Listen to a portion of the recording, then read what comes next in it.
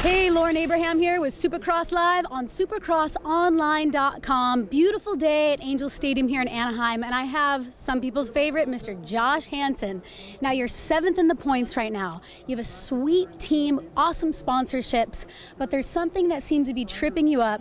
Explain to the fans what is the difference between you and those guys that keep getting those podium finishes? Uh, you know, I think uh, you know each weekend I've been coming from behind, and then last weekend I finally broke out and got the start that I wanted, and I just rode tight and went backwards and went back to 10th, and I just need to kind of get the confidence up and uh, kind of get a couple things better with the bike, and we're, we're, we're getting there slowly but surely, but uh, I mean, I'm super stoked on how everything's going, consistency, and just uh, more or less just want to be safe and and uh, hit every round this year.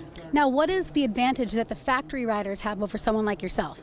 Uh, I mean, when I have problems on my bike, it isn't like I can just change parts and make things better. I'm kind of on everybody else's time, and uh, so I just kind of have to suck it up and deal with it. Comparison to some of these guys, they have extra different forks, they can put on different setups, and but I mean, no excuses. It's it's been good. My team's been awesome. I can't thank Dodge, Hart, and Huntington enough. Saquon, and uh, basically. Uh, uh, you know, I just need to just make it happen for myself. Well, I think that your confidence seems a little up today. You're going to make it happen. How has your season been feeling actually uh, racing in the Supercross uh, class?